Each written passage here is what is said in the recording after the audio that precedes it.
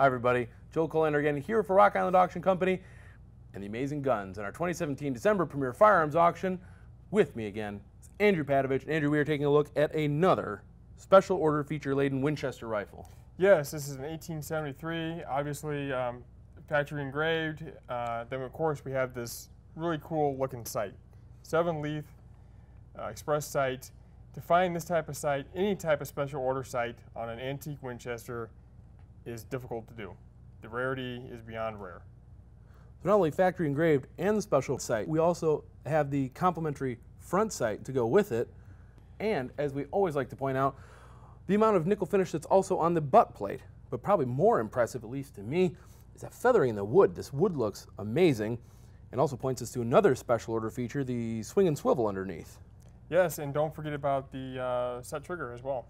All on the factory letter and the more special order features you combine into one gun, the rarer it's going to be for Winchester collectors. So this one should be on the top of your list if you are such a collector. That's for December 1st, 2nd, and 3rd, Premier Firearms Auction at Rock Island Auction Company. Check out the full listing at www.rockislandauction.com.